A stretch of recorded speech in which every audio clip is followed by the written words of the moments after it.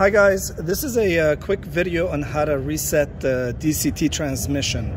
So what we want to do is first we need to warm up the engine. Once the engine is warm, we're gonna shut it down with the key. And uh, before you turn the key to on, we're not gonna start the engine, we're just gonna switch the key to on. We're gonna press the D over here and hold it, okay? And while you're holding it, turn, turn the ignition on when that light went off, now you are ready to give it instructions for it to relearn the system.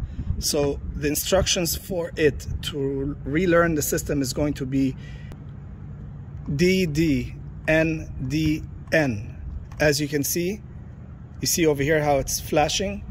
Now the system is ready to learn. So it's going to start to relearn for itself once we start the engine. So we do need to start the engine and let it do its thing.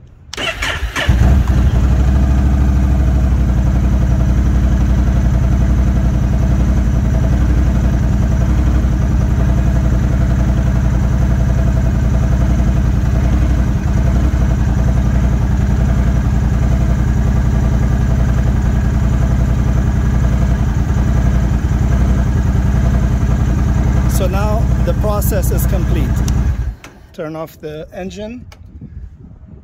So the process is complete and uh, the DCT has reset itself and now it's going to start to relearn your uh, riding habits.